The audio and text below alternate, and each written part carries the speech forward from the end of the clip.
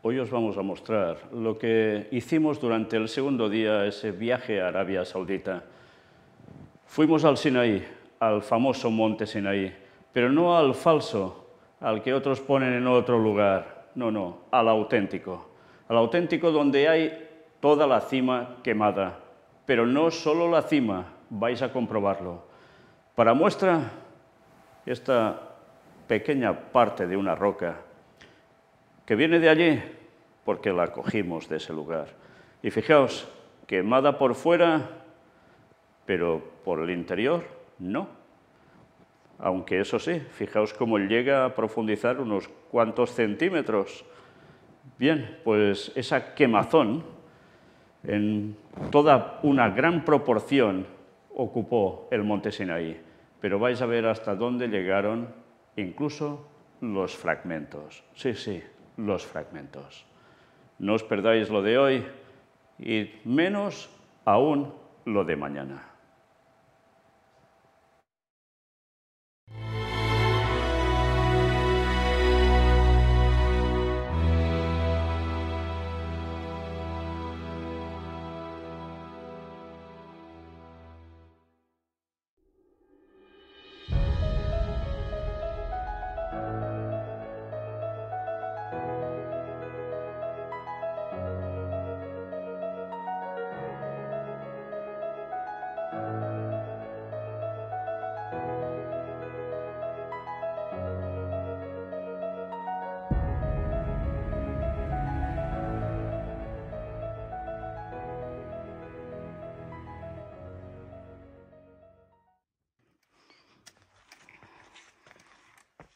Esta es lo que sería nuestra travesía hacia la montaña de Sinaí, que ahí la tenemos.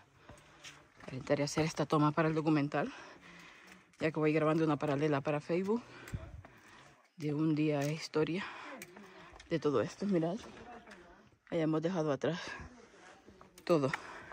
Y aquí intentamos ir subiendo como podamos.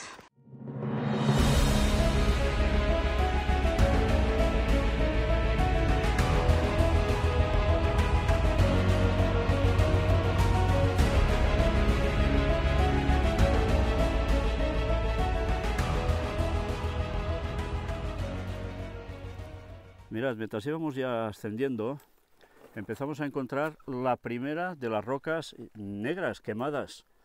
Ya veis que además es grande. Podéis hacer la comparativa con las piedras que hay a su alrededor, justo a su lado, son de la misma tipo de piedra, pero una está quemada, la otra no. Esta, ¿por qué está aquí? Pues porque si ahora enfocamos un poco hacia arriba, veremos que aún hay las que no están quemadas, pero empiezan a haber algunas que ya se ven negras, y un poco más arriba donde podéis ver allí a uno de los nuestros, fijaos, otra piedra que se ha ido eh, desplomando hacia aquí. La parte de arriba es todo negro. Bueno, pues ahora vamos a intentar llegar hasta allí. Mirad esta, es eh, grande, totalmente quemada, con una brillantez que tiene. Y mirad, cuando nos desplazamos hacia atrás, la parte que quedaba abajo tiene este tono marrón, no negro, aunque también está un poco teñida eh, de, la propia calidez que hubo allí, que desde luego no fue poca. ¿eh? Mirad esta, comprobad lo quemado por este lado con el mismo tipo de roca que son las montañas que veis enfrente y qué diferencia de tono. Hemos encontrado piedras verdosas, azuladas, que nos hacen pensar también en si realmente eran las que se llegaron a utilizar para los diez mandamientos, ya sabéis que eran azules, y estas, estas otras que veis aquí. Desde luego, esto se ve que es quemado de una hora lejos. Ahora lo bueno sería poder hacer un experimento de laboratorio para saber qué temperatura llegó a tener sobre esta piedra o sobre cualquiera de ellas para poder determinar qué magnitud de esa presencia divina. Mirad, ahora estamos ya adentrándonos en la zona quemada. Podéis ver la magnitud, es tremendo, totalmente carbonizado, muy negro todo.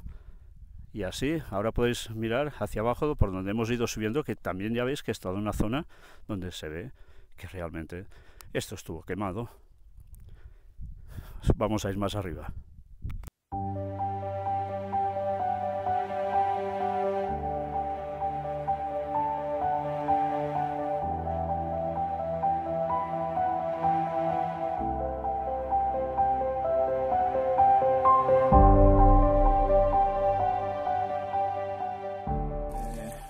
una gradación de fuera hacia adentro, eso es la superficie de la roca, ¿eh? no sé si se puede ver. Eh, la superficie de la roca es oscura y el interior es marrón como el resto de rocas que se pueden encontrar más abajo. mucho más por estas evidencias tangibles, por estas piedras que hoy todavía hablan, estas piedras que claman que Dios es verdad, que Dios se ha manifestado, que Dios se manifiesta a su pueblo y que Él ha prometido que volverá. Esperemos que esto sirva para ganar muchas almas. Ahora en el descenso lo que hemos podido ver es que hay justo delante nuestro, esto que ves aquí es una cavidad que parece como si algo hubiese estado enterrado. ¿Por qué decimos esto? Porque hay unas marcadas ruedas de coche de un todoterreno que han llegado prácticamente muy cerca de este punto y luego ya el coche no ha podido seguir porque hay unas rocas que hay que pasar a, pie, pero eh, justo ya un poco después hay esto y es como si algo hubiese estado enterrado aquí eh, se lo hubiesen llevado.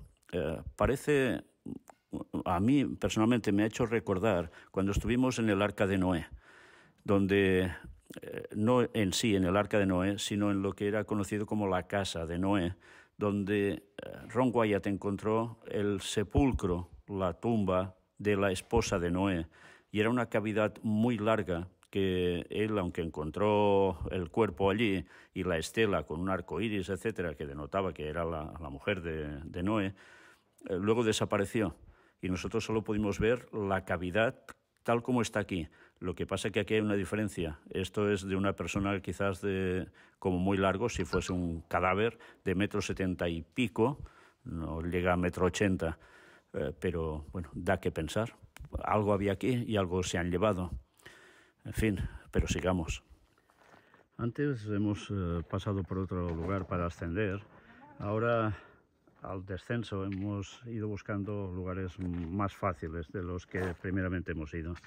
Y comprobamos que en la zona donde teóricamente ya no debería haber eh, piedras carbonizadas, en cambio, muy alejados ya del resto de lugares que ya veis, ya se ve la piedra granítica, más rosada, aparecen también pedruscos enormes y otros más pequeños que también están quemados, lo cual nos indica que el relato bíblico nos decía que hay todo como un movimiento de la montaña tremendo con la gloria de Dios y con su presencia, con lo que viene aquí.